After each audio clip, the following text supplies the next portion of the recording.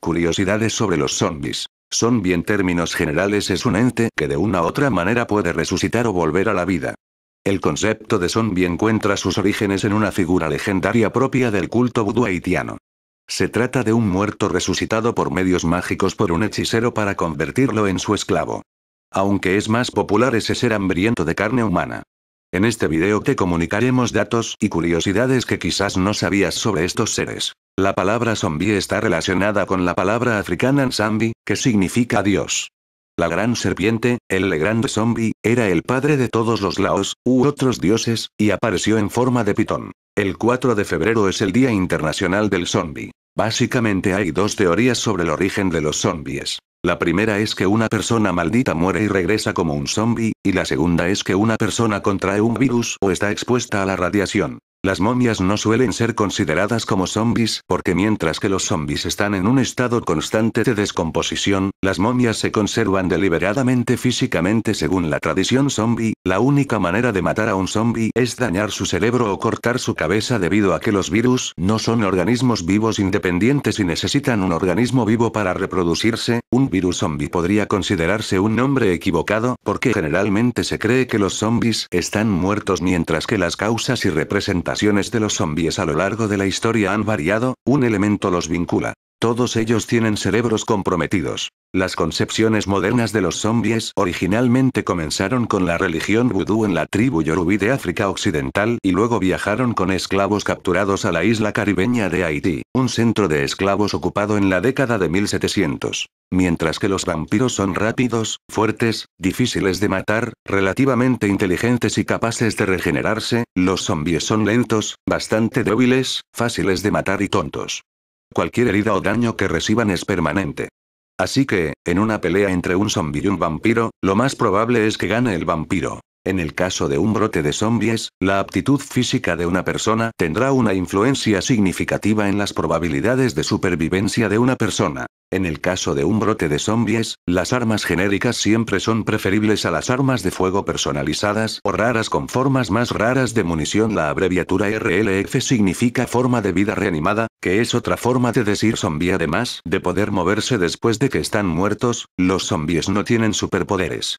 De hecho, los zombies en realidad tienen menos habilidades que cuando eran seres humanos vivos. Una enfermedad llamada IAUS puede hacer que la gente parezca zombies. La enfermedad causa llagas dolorosas y resumantes en la cara, las piernas, los brazos y los pies. Las dolorosas heridas en la parte inferior de los pies a veces hacen que un enfermo camine en una mezcla lenta, similar a un zombie. Los fans de los zombies debaten cuánto tiempo tardaría una persona que murió de un virus zombie en reanimar. Las teorías ponen el momento de la reanimación entre unos minutos y varias horas. Un hongo parásito, una especie de Opiocordyceps, convierte efectivamente a las hormigas en zombies. Un estudio reciente encontró que el hongo puede sincronizar varias hormigas para morder simultáneamente en la parte inferior de una hoja y luego morir. El hongo brota a través de los cuerpos de las hormigas muertas en ciencias de la computación, un zombie es un ordenador que ha sido tomado por un virus, un caballo de Troya, o un hacker. La mayoría de los propietarios de computadoras zombies no son conscientes de que sus computadoras han sido comprometidas. Los 10 países más seguros durante un brote de zombies según la ubicación geográfica, topografía, población armada, densidad de población y preparación militar son los siguientes. Australia, Canadá, Estados Unidos, Rusia, Kazajistán, Bolivia, Noruega, Finlandia, Argentina y Suecia. Las historias de los muertos que han vuelto a la vida tienen miles de años. Por ejemplo, hace 5.000 años en el cuento de Oriente Medio la epopeya de Gilgamesh, una diosa enojada amenaza con traer a los muertos de vuelta para comer a los vivos. Según el folclore haitiano, alimentar la sal a un zombi restaurará a la persona a la libertad.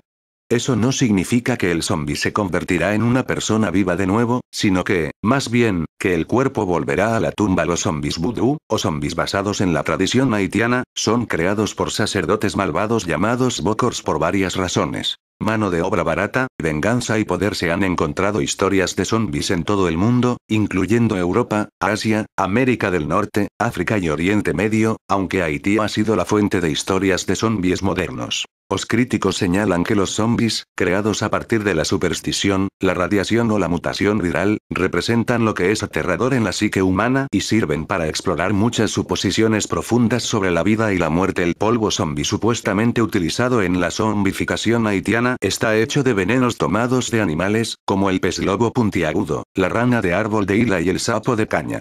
Además, los polvos contienen restos humanos, así como algunos alucinógenos en el caso de un brote de zombies, hay ciertos puntos calientes para la infección zombie, incluyendo hospitales, estaciones de policía, iglesias, centros comerciales y grandes almacenes hace mucho tiempo, las personas a veces eran enterradas vivas porque estaban en coma, lo que los médicos confundieron con la muerte. Cuando los ladrones desendaderan sus tumbas para robar joyas, los cadáveres parecían volver a la vida. Esto ha jugado un papel en el desarrollo del mito zombie. Investigaciones recientes muestran que lo más probable es que solo uno de cada 100 intentos de zombificación vudú en Haití tenga éxito. Las otras 99 veces resultarían en la muerte. El video ha llegado a su fin, espero que lo hayan disfrutado, chaito.